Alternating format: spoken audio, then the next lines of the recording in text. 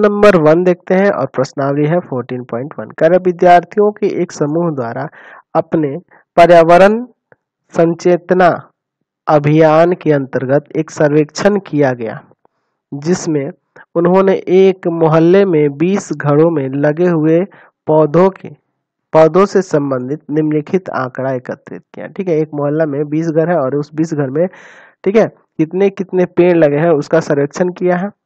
प्रति घर माध्य पौधों की संख्या ज्ञात कीजिए। मतलब कि माध्य क्या होगा इसका? वो निकालना है। ठीक है?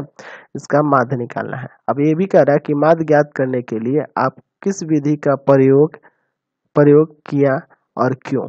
ये भी पूछ रहा है कि माध्य निकालने के लिए कौन से विधि का आपने प्रयोग किया है और क्यों प्रयोग किया है?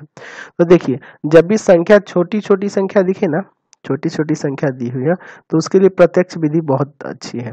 ठीक है? प्रत्यक्ष विधि डायरेक्ट मेथड ही आसान रहता है। ठीक है? और बड़े अंक जब दिए रहते हैं, तब हम लोग पग विचलन विधि या दूसरा जो था आपका, क्या था? तो दूसरा आपका काल्पित माध्य विधि था। तो उन दोनों में से कोई प्रयोग करते थे। यहाँ छोटी छोटी संख्या दी गई है, इसीलिए हम लोग यहाँ डायरेक्ट मेथड ही, यानी कि प्रत्यक्ष विधि का ही प्रयोग करेंगे। तो सबसे पहले इसके लिए चार्ट बना लेते हैं। चलिए, यहाँ पे हम लोग एक चार्ट तैयार कर देते हैं। ठीक है? चलिए थोड़ा सा बड़ा करते हैं इसको। चलिए, हो गया। ये हमारे लिए बहुत ज़रूरी है प्रत्यक्ष विधि, क्योंकि इसमें छोटे छोटे अंक दिए हैं तो प्रत्यक्ष विधि ही आपके लिए बहुत अच्छा रहेगा। ठीक है? चलिए, आगे देखते हैं हम लोग इसमें पहले तो चार ये कंप्लीट करते हैं। ठीक है? चार बॉक्सेस चाहिए, ज़्यादा नहीं। इसको ऐसे खींच देते हैं। चलिए जो जो चीज़ दिया है, पहले इसको लिख लेते हैं यहाँ पे। तो यहाँ पे लिखेंगे पौधों की पौधों की संख्या, पौधों की संख्या। यानी कि क्लास इंटरवल दिया ना? चलिए ज़ीरो से दो दिया है, फिर दो से चार है, फिर चार से छ है छ से आठ है, आठ से दस है, दस से बारह है और बारह से चौदह है। ठीक है? यहाँ पे घरों की संख्या, घरों की संख्या। ये घरों की संख्या क्या? मतलब एफ़ आई दिया हुआ है। ठीक है एफ़ आई दिया हुआ है। चलिए, समझ रहे ना? एफ़ आई दिया है। एफ़ आई ठीक है? चलिए, कितना दिया है? एक, दो, एक, पाँच, छ, दो और तीन, ठीक है? चलिए, अब आपको पहले क्या निकालना होगा? एक्स आई यानी कि ये वर्ग चिन्ह है ना? वर्ग चिन्ह निकालना होगा।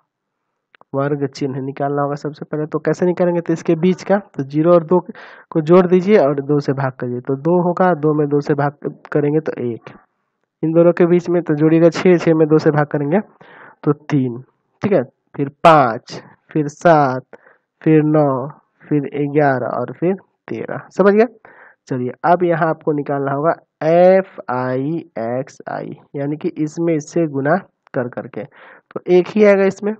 फिर इसमें तीन गुना छ फिर पाँच फिर पाँच सत्य पैंतीस, फिर छः नवा चौवन, फिर देखिए ग्यारह दुना बाईस और तेरह तिया उनचालीस।